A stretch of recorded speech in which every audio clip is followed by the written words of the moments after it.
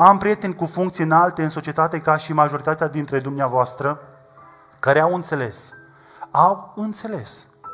Într-un an jumătate, le-a luat un an jumătate, dar au înțeles că suntem o comunitate prea mică să ne mâncăm unii pe alții. Și că nu trebuie să ne diferențieze culoarea religiei, ci împreună trebuie mai mult ca oricând să fim uniți, să fim oameni. Mă întâlnesc cu oamenii lui Dumnezeu, preoți și nu numai care recunosc că uneori tradițiile și obiceiurile noastre ne-au distanțat de adevărata valoare. Iisus Hristos este adevărata valoare.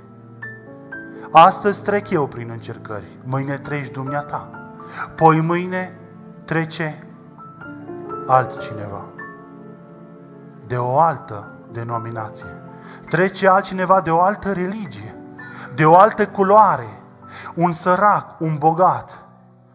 Eu, tu, dumneavoastră, haideți să fim oameni, să fim asemenea Domnului nostru Isus Hristos, să iertăm, să ne cerem iertare, să iubim și să spunem un cuvânt care este greu întâlnit în ziua de astăzi.